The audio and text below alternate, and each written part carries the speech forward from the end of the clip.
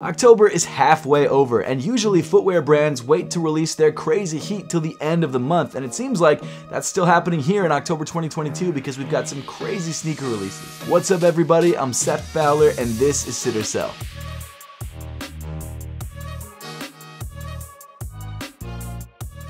Have you guys seen the latest SolePremise bags, the Monogram series? They look absolutely insane and feel very premium, especially for the price. First of all, I want to give a huge thank you to SolePremise for being such a long-time supporter of the channel, and second of all, I want to show you one of my favorite new bags. So obviously, I love SolePremise's new Monogram design. It looks really great in this black color, especially accented by these gold hits on the front of the bag, and of course on the zippers. It looks super clean, but not only that, this bag is super functional because in the front of the bag, I can hold two whole pairs of sneakers, and in the back of the bag, I can hold my laptop laptop, some cables, and even throw some clothes in there. It's a pretty amazing bag. And this is just one of their smaller backpacks. They have tons of other bags available. They have duffel bags and really big backpacks, which I show off a lot on this channel because I use that bag a bunch as well. And they come in a ton of different colors, like green camo, which looks amazing. And of course, Sole Premise bags are TSA approved, which means you can bring them onto the airplane with you, store them in the overhead compartment or underneath your seat, rather than having to check them underneath the plane, which makes traveling a lot faster and keeps your stuff a lot safer. But with all that being said, if you guys want to check out Sole Premise for yourself, which I absolutely recommend,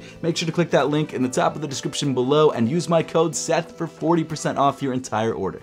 Jumping right into it, on October 19th, we've got the Air Jordan 9 Boot NRG in black and gum. According to Jordan Brand, this is a winterized Air Jordan 9 that comes in a rugged black upper and a gum outsole. The upper comes in a durable leather and suede with a waterproof coating, and then apparently the eyelets of the shoe come in metal, which make it better overall, I guess, or more durable. I'm not exactly sure. And then the final feature that makes this more of a winterized boot is the extra traction on the outsole. It feels like Jordan Brand has been winterizing their classic Air Jordan models for years, and every year that I see one of these shoes sitting in store, I'm like, yeah, I'd rather wear a pair of Tims, and I feel like most people feel that way. I understand that some people do want a winterized version of their Jordan sneakers. I get it, but I don't think it's that many people, and I'm surprised that every year Jordan Brand just keeps re-releasing Jordan 9 winterized or Jordan 4 winterized, and it just doesn't seem like it makes a lot of sense, but they must be selling models because they wouldn't keep doing it if they weren't. However, unlike their classic models and classic versions of those models, these shoes just don't seem to have the same hype,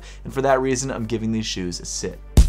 Rounding off the 19th, we've got the social status Nike Air Penny 2 in Cobalt Pulse and Black. First of all, I want to give a huge thank you to Social Status for sending out this pair of sneakers early. I absolutely love it. It's actually my only pair of Nike Air Penny 2s, and this colorway is fire. There is actually a second colorway, which I believe dropped exclusively at Social Status. It's a white and cream colorway. It's also very clean, but I think I prefer this black, white, and blue look personally. Obviously, because this is a Social Status collab, you do have some Social Status hits, like this embroidery right here on the ankle, which is actually embroidered onto this this 3M detail, which I really dig. You've got this nice pink hit on the back of the shoe, and then of course, a majority of the shoe comes in this black nubuck accented by this white sort of phylon. Another detail that I really love is that with the shoe, you get this little like bronze keychain of the shoe, which is super, super cool, which I think I might actually throw onto my keychain right now. I mean, that's sick. That is super, super cool. I love this detail. Definitely a super clean collaboration on a classic silhouette and one that absolutely will sell out. In fact, I think this shoe is reselling for like triple the price right now, which is nuts.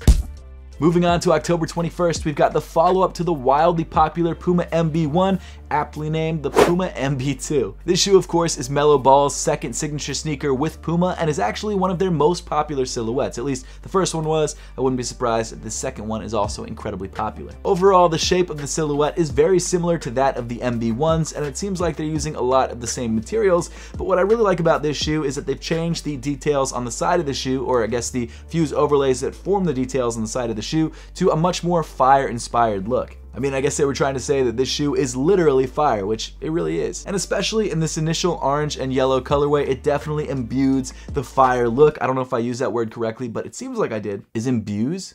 imbued, permeated, or inspired. That makes sense. okay, so I used it right, I just said it wrong. Regardless, this shoe will no doubt be popular, and I definitely think this Puma MB1 in this orange colorway will absolutely sell out. Also dropping on the 21st, we've got the Nike Air More Up-Tempo 96 Thank You Wilson. So this shoe pays homage to Wilson Smith III, the first black designer in the footwear industry. And the colorway of this shoe is inspired by his love of space age TV. Apparently it's supposed to be some sort of like otherworldly sunset, which I actually kind of dig. Not only that, the mesh uppers used on the shoe are inspired by one of his early mesh upper prototypes of the Nike Air More Up-Tempo. The story alone, and of course the person that it honors, makes this shoe awesome, but I just don't feel like there's a lot of hype behind this release, probably probably because people don't understand the inspiration behind this shoe, and for that reason, unfortunately, I'm gonna give this shoe a sit. Next up, we've got the Shelf Life Air Jordan 2 Low. As some of you probably could have guessed from the name of this collaboration, this shoe is a collaboration between the South African sneaker and streetwear store Shelf Life and of course Jordan brand. This shoe comes in a very clean white, cream, and orange makeup. It features this really nice white suede around the lace eyelets of the shoe. You've got white leather rounding off the rest of the upper, and you've got cream hits on the heel, the midsole, and of course orange on the tongue and on the outsole. As I'm sure you've noticed if you've been following sneakers over the last year, Jordan brand has really been making a push to revitalize the Air Jordan 2, and this shoe is actually one of the three collaborations dropping on the 21st. Apparently, the idea behind releasing these three different Air Jordan 2 low collaborations, the other two, of course, we'll talk about in a minute, is to amplify the local stories of where these sneaker stores who are having these collaborations are based. And while traditionally the Air Jordan 2 silhouette and especially the Air Jordan 2 low have not been that popular when compared to other Air Jordan models, I definitely think this collaboration, and probably the other two that we'll talk about, will sell out. The next one of these shoes from this collaboration is the 218 Air Jordan 2 Low. Now like Shelf Life, 218 is a sneaker and streetwear store, except this time around this store is based in Detroit. This shoe comes in a very dressy brown tonal upper made up of leathers and suedes, accented by a cream colored midsole and a semi-translucent outsole that fades from a blue to a brown. Definitely a clean look and in my opinion a great addition to this set of Air Jordan 2 Low collaborations. And I have to say that not only because this shoe looks good but also because it's limited and of course a collaboration, I do think that this shoe will sell out. And then finally, we've got the third sneaker from this set of collaborations, and that's the Titan Women's Air Jordan 2. This shoe is a collaboration with the Filipino sneaker boutique Titan, and unlike the other two shoes that we just talked about, this shoe is made exclusively for women. Now personally, that's a little bit disappointing because this was my favorite colorway out of the three that are dropping, and while yes, I probably can still grab a pair of these in my size, there's gonna be a lot less pairs of size 9s than there are like size 6s, so it's probably going to be very difficult to get. This colorway comes in white leather, orange, and green, accented by this really cool sort of green corduroy mudguard, which I really dig. And overall, in my opinion, it's the most unique of these three Air Jordan 2s. And like I just said about the other two shoes that we just talked about, I definitely think this shoe will be no different and will absolutely sell out. Next up, also dropping on the 21st, we've got the Adidas Yeezy 450 Stone Flags. Man, Kanye is doing some some stuff right now. Um, and in light of all that stuff, I'm surprised that Adidas is still releasing his shoes. I mean, even disregarding the crazy stuff that just went down last week, just the contract negotiations, it's uh, it's interesting to me that they're still dropping models or colorways of this shoe, which they must have produced months ago or even a year ago, and they probably have to release these shoes. But man, it's it's it's been a wild uh, it's been a wild couple weeks. With that being said, the 450 is still a pretty popular model. I like this sort of caramel colorway. It's nice. I like the monochromatic look, but overall, it's not something that I really feel like I need to pick up. And I think that the 450s, while still popular, have lost a lot of their hype, and for that reason, I kind of think this shoe will probably sit on shelves. After that, and rounding off October 21st, we've got two different colorways of Joe Freshgoods' latest collaboration on the New Balance 993s. So although this shoe does come in three different colorways, it looks like New Balance's website is only dropping two of those colorways, the blue colorway and the margarita colorway, which is kind of like a pale green. Now you guys know how much I love Joe Freshgoods' New Balance collaborations. This shoe is, in my opinion, one of the best New Balances ever released, but he's also dropped a lot of other great colorways, a lot of which I have, and uh, I'm excited to try and grab these colorways as well. However, knowing the Joe Fresh Fresh Goods collaborations, they will be very difficult to get. My favorite of the two colorways is the blue vintage rose colorway. I really love that light blue nubuck that they used on the upper of these 993s. I also love that sort of rose colored cream that they use to accent the upper as well as on the midsole. It's a very clean look, but don't get me wrong, I'd also be happy with the margarita colorway, which features the same sort of vintage rose accent, but also comes in this really nice sort of toned down green upper. I just love both of these shoes. I would love to get the third colorway as well, but just knowing Joe Freshgoods New Balance collaborations, these shoes will absolutely sell out and sell out very, very quickly. Continuing on to October 22nd, we've got Salehe Bembury's latest collaboration with Crocs on the Pollex clogs in the Kawada colorway. I'm not really sure how to describe this colorway. It's kind of like a clay color with a bit more like pink in it. Maybe sort of like a, uh, Kawada. I don't know what a Kawada is, but I feel like it's probably similar color to that. Could be a Japanese surname or an anime character. Either way, I think it's a nice looking shoe. It's actually kind of similar color to this guy's hair. Maybe that's what it what it is. I don't know. If you guys know, let me know in the comment section down below. But I think it's a very clean looking pair of shoes. I love this colorway. I love all of Salehe Bembury's Crocs, and if I have a chance to grab these, I absolutely will. But knowing all of the other releases he's done, I definitely think these shoes will sell out.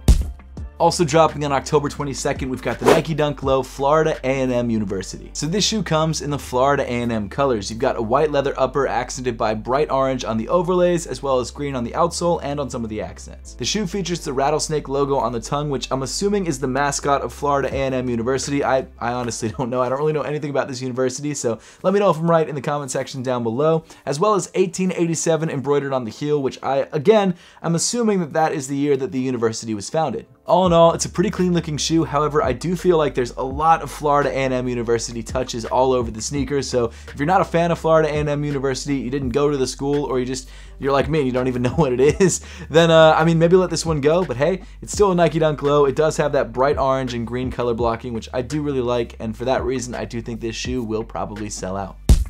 And then rounding off October 22nd, we've got the Air Jordan 7 Vachetta Tan. This Air Jordan 7 comes in a full Vachetta Tan leather upper accented by embossed details that mimic the classic Bin 23 Air Jordan 7. Accenting the tan upper is a black midsole with purple and yellow hits, and overall, it is a pretty clean looking pair of Air Jordan 7s. Now I gotta be honest, I don't totally trust Jordan brand when they say this is actual Vachetta Tan leather. Usually that leather darkens over time after a lot of wear. I feel like this is a much cheaper, crappier version of that leather if it is that leather leather at all. And I think there is a good chance that this leather will just stay the same color no matter how long you wear the shoe. So I don't know, maybe I'm wrong about that. That's just what I'm guessing from these images. But overall, it's a clean look. It's definitely a simple look with some nice accent details on the heel. It's just not a shoe that I'm that interested in. And I do think it will probably end up sitting on shelves. Next up, on October 25th, we've got the Nike LeBron 2 Midnight Navy. So this shoe is apparently a one-for-one -one retro of the classic Nike LeBron 2 in the Midnight Navy colorway. The shoe comes in a dark navy mesh upper accented by white leather overlays and is a pretty clean looking Nike LeBron 2.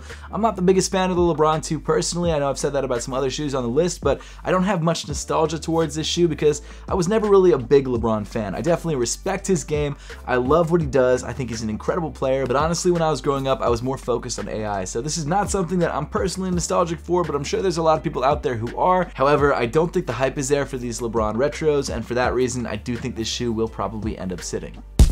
Moving on to October 26th, we've got the Nike Dunk High Somos Familia Dia de Muertos. This Day of the Dead Nike Dunk High features a split fabric upper, one side is brown, one side is blue, and each one of these sides feature really cool embroidered details. The overlays on this shoe come in this really nice warm yellow color, accented by a red Nike swoosh. Overall, a pretty clean shoe and one of my favorite Day of the Dead Nike sneakers, and I definitely think this shoe will be popular, and for that reason, I think this shoe will sell out. Next up, on October 27th, we've got three new sneakers from the Teddy Santis New Balance 990 collection. So this collection is made up of a pair of 990 V1s, 990 V2s, and of course the 990 V3s. The upper of each one of these shoes are all pretty similar. They all feature white mesh somewhere on the upper, as well as a dark brown suede, and they all feature a little tan hit on the heel. I don't know if these colorways are my favorite out of all the colorways that he's dropped, but they're definitely a clean look. However, I feel like some of the hype has died down from these made in the USA pairs, and for that reason, although they are great sneakers, I think they all probably will sit in some sizes. Also dropping on the 27th, we've got the women's Air Jordan 1 Starfish. This shoe looks a lot like the Shatter Backboard 2.0s. It's a very similar looking sneaker, however there are some small changes and it's not just the fact that it's a women's only sneaker. The upper of the shoe comes in a white leather accented by bright orange overlays which look very clean and again are very similar to the Shatter Backboard 2.0s. However, the difference comes around the ankle area of the shoe. Instead of using black leather, they decided to go with brown leather, probably to differentiate the shoe from the Shatter Backboards, but it definitely gives the shoe a more fall-like sort of Halloween feel. Obviously, I think most people would prefer to have the ankle area come in a black leather instead of a brown leather because we're probably all hype beasts, but at the same time, this brown is definitely not a bad look, but I don't think it's going to be as hyped up as a re-release of the Shatter Backboard 2.0s would have been. It's a clean look, it's a great sneaker, however, it is unfortunate that it's only dropping in women's sizes. That being said, it will probably still sell out. And then finally rounding off the 27th, we've got the Nike Dunk Low Halloween. It's crazy to think that the Mummy Dunks already came out last year. It feels like it just happened, but it was a whole year ago, and now we're getting a brand new Halloween sneaker from Nike, the Nike Dunk Low Halloween. Unlike the Mummy Dunks, it featured a cream mummified upper. This time around, Nike decided to go for a slightly darker look with a very dark gray and actually reflective upper. In addition to the reflective details on the gray upper, you've also got a bright green outsole, which seems like it features some recycled materials in it because it's kind of speckled might not, but it kind of looks like that's what they're going for. All in all, it's not a bad looking shoe, and I feel like there's a lot of cool hidden details that we just don't see in these promo images for the shoe, which I have to wait till we get the shoe in hand, but overall, in my opinion, it's not as cool as the Mummy Dunks, and I realize that's probably one of the best Halloween sneakers to ever release, but that being said, I still feel like they could have followed up the Mummy Dunks with another crazy release and not something as toned down as this shoe. But hey, I still think these shoes will sell out. Following that up, on October 29th, we've got the Air Jordan 4 Midnight Navy. So this shoe's color blocking probably reminds a lot of people of the White Cement 4s. In my opinion, one of the best Air Jordan 4s of all time. And I've got to say, while yes, I would have preferred having the White Cements come back, this is actually a pretty fire shoe. The upper of this shoe comes in white leather accented by gray details with black splatter print, and of course you've got the midnight navy details on the eyelets and on the outsole. According to the sneakers app, this shoe is actually the white cement colorway except with a, an autumn update with a crisp midnight navy accent to keep you looking sharp and season ready. I don't know how this blue is more autumn than the gray that they were using or the black that they were using, but hey, that's what they're saying, so I mean, it's a white cement with blue hits. There you go. Again, I'm not gonna lie, this is a fire sneaker, one that I absolutely wanna pick up, and one that I think a lot of people are excited for, and for that reason, I'm giving this shoe a sell. Then, finally getting to the last release in today's video, on Halloween, October 31st, we've got the Adidas Yeezy Basketball Knit in Onyx. I don't really have much to say about this shoe other than the fact that it's an all-black Yeezy basketball knit with 3M accents on the toe. It's fine, nothing wrong with it, but not that exciting. I guess it's kind of Halloween themed because it's all black. I don't know. Either way, I don't think this shoe will sell out, so for that reason, I'm giving this shoe a sit. Let me know your thoughts on all the sneakers that we covered in today's video in the comment section down below, and I'll see you all in the next one.